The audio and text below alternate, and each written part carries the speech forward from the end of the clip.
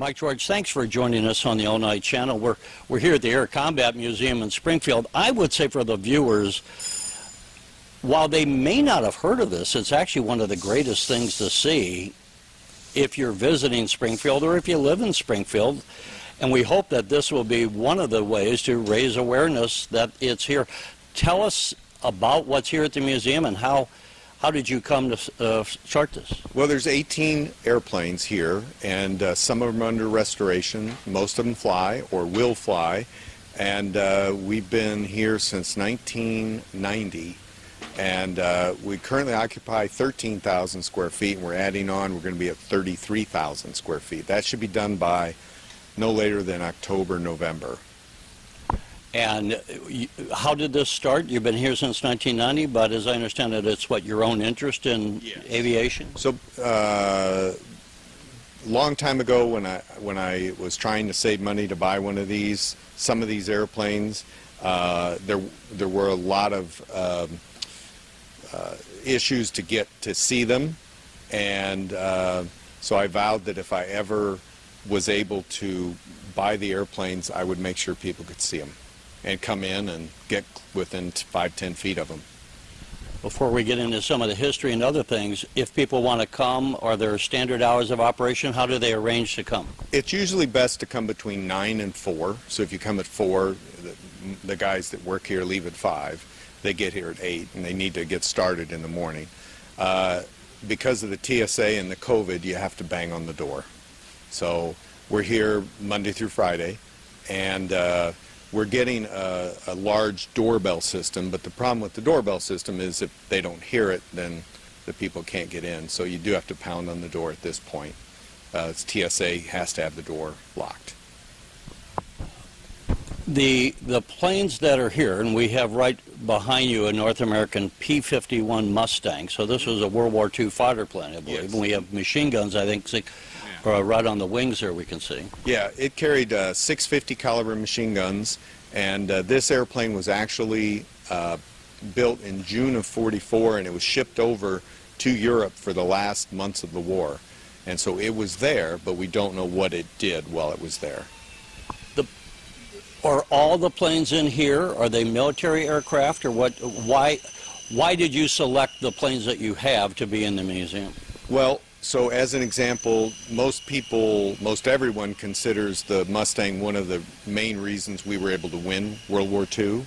Um, behind us is the Corsair, behind you rather, is the Corsair, and uh, that was the Navy's airplane that, that was also more modern and did very well.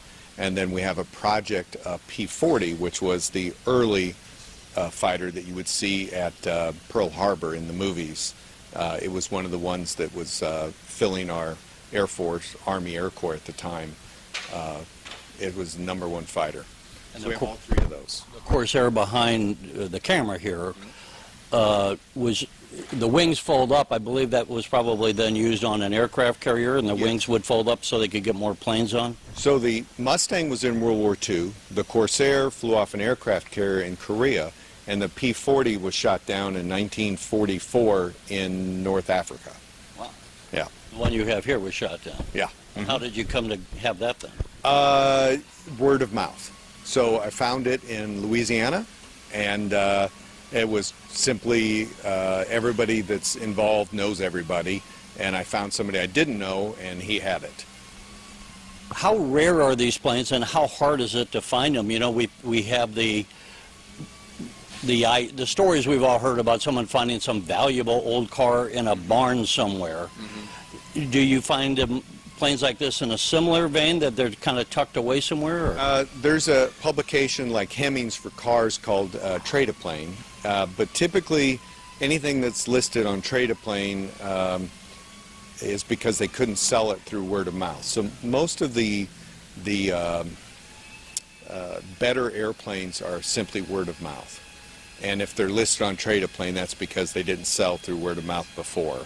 So the Corsair, to get it, I had to um, follow the gentleman uh, and see as he was getting older when he was ready to sell it. As we stand here, it's pretty crowded. You have to duck under wings.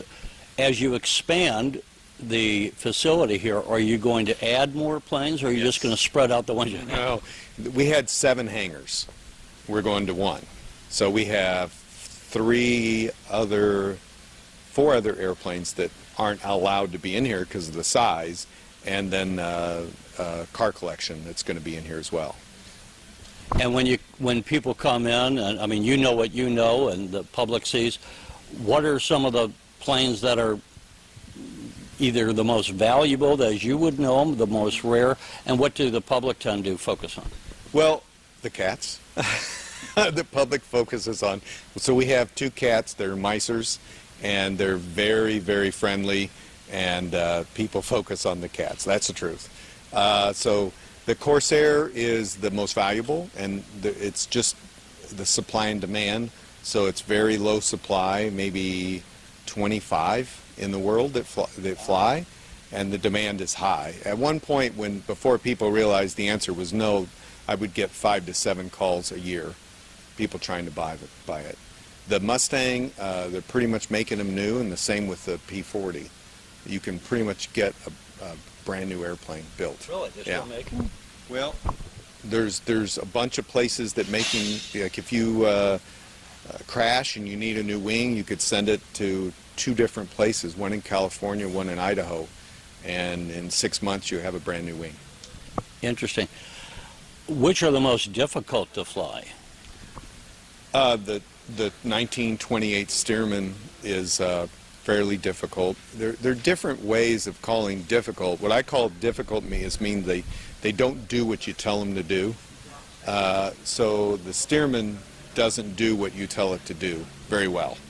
Uh, the Mustang is only difficult because if you make a mistake, uh, it's uh, extremely dangerous. Um, it, it'll crash if you just pull the flaps up too quick or if you uh, uh, give it full power uh, at a slow speed. It, it, you're, that's it. You're done.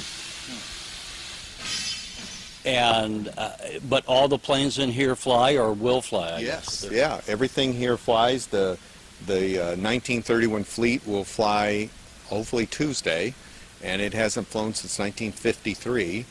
Uh, in the last month, uh, one, two, three, four, five of the airplanes have flown just last month. Now, what's, what's interesting to me, and I know only a little bit about aviation history, but that, you know, you go back to the Wright brothers, and one of the things that the Wright brothers weren't doing right, I mean, they had been bicycle makers, they weren't very good engine makers, Low horsepower. low horsepower. And so you had what Curtiss come along, who was a motorcycle rider, Right. and so he was more of a engine mechanic. Mm-hmm. So I guess what we're seeing here, if, if one wanted to study it, or you're seeing a, an evolution in aviation and design, both of the the planes, and we were talking off camera, some of these, a, a number of these still have canvas wings, Most of and then others have, uh, what, I guess aluminum? Yes. So uh, the oldest airplane's a 1928 Stearman. Then we have a 1929 Stinson and a 1931 Fleet Model 9, which is one of two that exist. Wow. Then uh, those are all fabric coated, but even the 1996 um, Extra 300, which will, won't be in the central display area once we get the, the building made because it's not a warbird, but it has canvas on the fuselage. Now, you, you fly all the planes, right? Mhm. You've flown the Mustang. H- How fast does this go? Uh, it, it trues, true airspeed's uh, 318 miles an hour. That's down low. If you went up high, it'd be over 400. I think a lot of people are surprised to hear that World War II era planes could go as fast as 400 miles an hour. Yeah, it, it will actually, in a dive, it'll go uh, uh, 503 Wow. In a dive. But straight and level, 400, about 400, 350 knots. So is that the, mo- the which is the most fun to fly? And I would imagine if you can do the Mustang, you get into some of these old box airplanes that might be feel like you're Yeah. boring and going five miles an hour. Oh no, it's just that with the when you take off in a Mustang at 100 and then you fly uh, the older airplanes and they're off the ground at 40, you're going, oh, I'm off the ground because you didn't notice it. But uh, the most fun to fly is the P40. Yeah. And if, so if people want to come, how much time should they book, would you say? An hour. Yeah, an hour. Uh, it depends if they if they have an interest, an hour. Uh, if they just want to see them, you know, 30, 40 minutes. Uh, depends on, on, on if they ask questions. If they ask questions, it'll be every bit of an hour. And we're, we're making this relatively short. What we'd like to do is come back after you reopen and you have all the new, you- you're, you're not crowded in here with all the All different the planes. dust will be gone. The floors will be clean. Uh, the wall, that wall will be removed, and the floor painted, and LED lights that you can see better. I mean, it's a, a very big uh, expansion. If I can ask one last question, uh, you have hanging from the rafters, what- which I, I asked off camera if that was a, a buzz bomb, but you said no, it's an early drone. Yeah, so if you look underneath, you can see uh, an opening. That was for a camera. And then, so in the beginning, it was, uh, you know, to take pictures of the enemy. And then towards the end, it's painted red because its purpose was a target drone. And uh, so that airplane, believe it or not, cost three times more than a Mustang.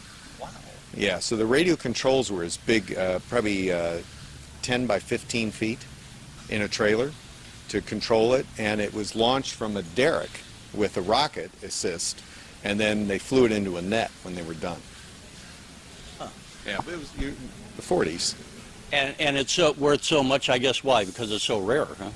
I don't think it's not worth much at all. Nope. Oh, I thought you, oh, you, No. so in the beginning it It cost. cost uh, 190,000 in 1947. Mustang cost 60. Wow. Yeah, okay. yeah. So if you look at the statistics of how many people we lost in World War II, you'll get an idea why we started to go to drones. I think in D-Day we lost five or six thousand men in the first hour. On the, on the ground. Yeah, yeah. And then the, the if you look up the statistics for uh, where was the least safe place to be, it was in a bomber. That was the most likely of chance of you not coming back. At sometimes the loss rates were 50 percent, and with the Navy at least, sometimes the loss rate was over was 100 percent. Can't be over, but it was 100 percent. So you send out uh, 30 planes and none come back, and that happened more than you can think. Remember, remember Ensign uh, George Gay? He he was the only survivor. All the airplanes got shot down. Well, Mike George, we appreciate you joining us. Sure. Thanks for having me. Thanks for watching, and if you haven't already, please consider subscribing to our channel. And while you're at it, please leave us a comment. Thank you for watching.